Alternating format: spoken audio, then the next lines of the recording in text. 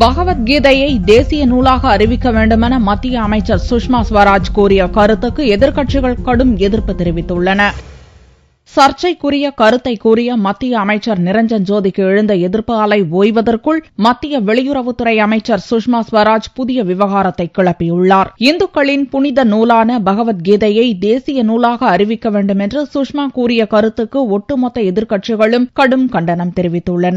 சுஷ்மாவின் கருத்து இந்தியாவின் மதச்சார்பற்ற கட்டமைப்பையே சிதைத்துவிடும் என்று இந்திய கம்யூனிஸ்ட் கட்சி எம்பி டி ராஜா கண்டித்தார். இதுபோன்ற கருத்துக்கள் மற்ற மதத்தவரை புண்படுத்திவிடும் என்று பகுஜன் சமாஜ் கட்சி தலைவர் மாயாவதியும் கண்டனம் தெரிவித்தார் और उन्हें इस बात का भी ध्यान रखना चाहिए भारतीय संविधान के हिसाब से कि हमारे देश में केवल एक ही धर्म को मानने वाले लोग नहीं रहते हैं विभिन्न धर्मों को मानने वाले लोग रहते हैं तो इस किस्म का बयान देकर तो जो बाकी धर्म को मानने वाले लोग हैं फिर तो वो लोग भी आवाज उठाएंगे कि उनका जो ग्रंथ है वो भी राष्ट्र घोषित होना चाहिए।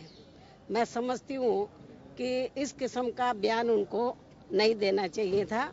சுஷ்மாவின் கருத்துக்கு கண்டனம் தெரிவித்து திமுக தலைவர் கருணாநிதி வெளியிட்ட அறிக்கையில் இந்திய அரசியலமைப்பு சட்டத்தில் கூறப்பட்டுள்ளபடி அனைத்து மதங்களையும் சமமாக பாவித்து மதச்சார்பற்ற தன்மையை மத்திய அரசு கடைபிடிக்க வேண்டும் என வலியுறுத்தியுள்ளார். தேவையற்ற செயல்களில் ஈடுபட்டு மக்களிடையே கிளர்ச்சியை ஏற்படுத்தக்கூடாது என்றும் மத்திய அரசை கருணாநிதி கேட்டுக் கொண்டார் பாமக நிறுவனர் ராமதாசும் பகவத்கீதை கருத்துக்கு எதிர்ப்பு தெரிவித்துள்ளார்.